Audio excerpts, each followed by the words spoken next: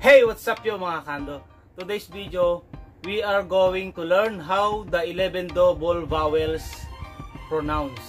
Okay? So doon sa aking last video, pinag-aralan na natin yung 10 basic vowels kung paano siya pinopronounce and kung paano siya sinusulat kapag meron siyang kasamang consonant. Let's do it!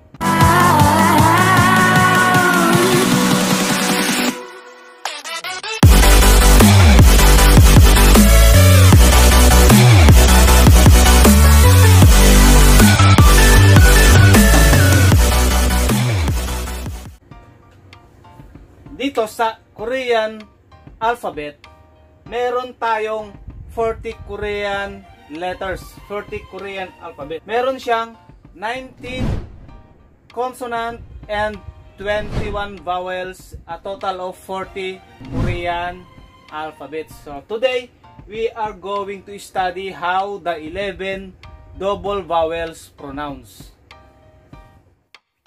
Okay, guys, so 11 double vowels ito po yun.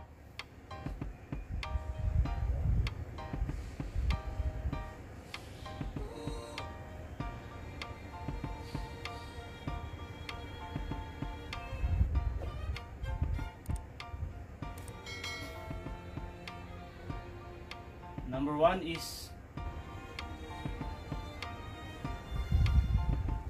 Number one is E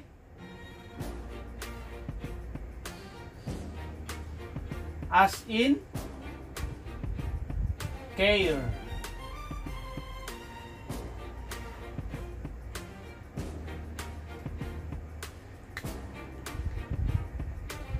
A as in care. Number two,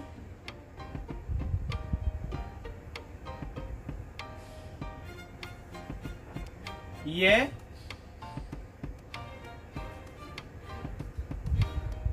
as in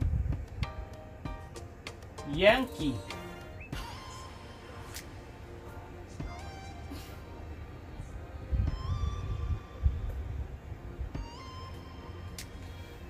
Number three,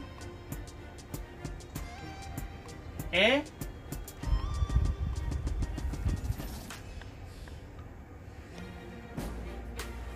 as in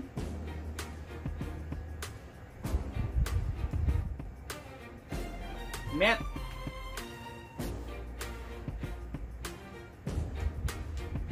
Number four, yeah.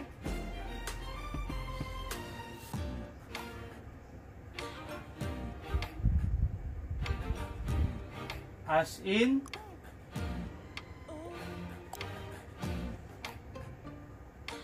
yes.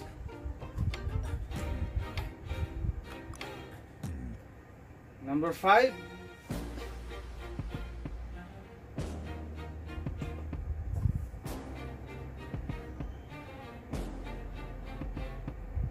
Wa.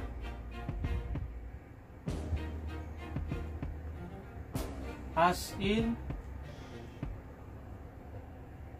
wine.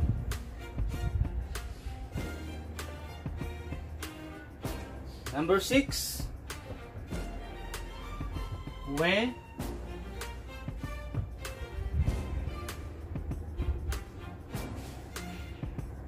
as in wait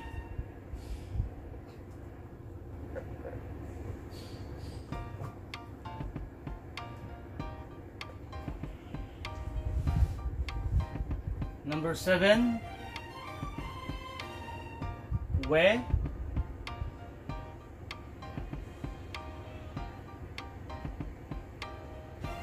as in wet. Number 8, where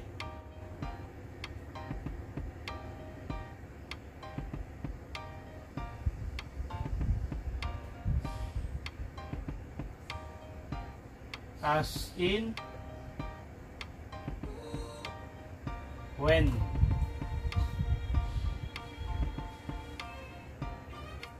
number 9 wo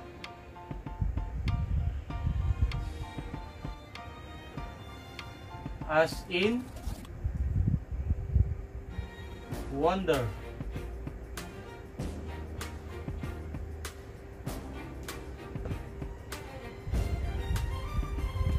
Number 10.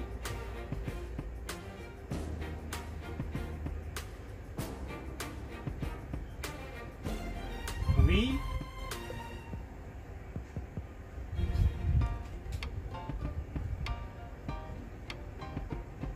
as in? We are the world. As in we are the world. Number 11 Uy as in ito yung pull and pull dito. And fit dito. Okay? We as in pull dito and fit dito uy pull and fit.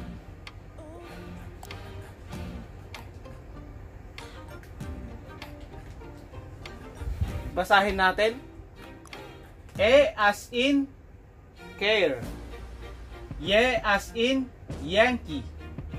E as in met. Ye as in yes.